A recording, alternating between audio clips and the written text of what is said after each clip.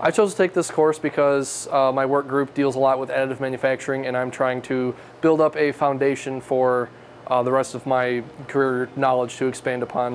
Uh, I thought this would be a great chance to learn the, the very fundamentals of how to actually use uh, CAD or uh, computer aided design software to how to use the printer specific software to get it ready to print and also how to troubleshoot any kind of uh, printing issues that you may see.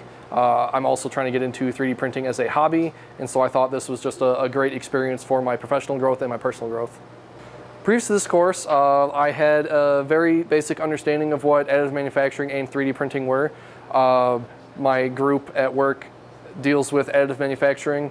However, I did not know all of what it entailed when I started, but uh, this was a great way to get hands-on experience in order to actually learn what my group is doing before I actually start doing work for them.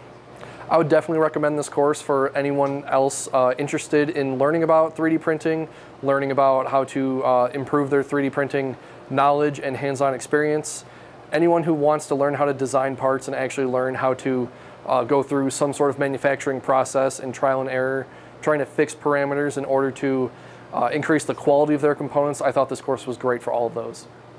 This course was great for learning uh, the very basics and also actually applying them in something that you can see and touch yourself using a computer program to actually make your components. It feels awesome and very fulfilling to try and you know make something that you think you can use and then it's another thing to actually make it and actually use it. It's very uh, fulfilling and rewarding uh, personally and professionally.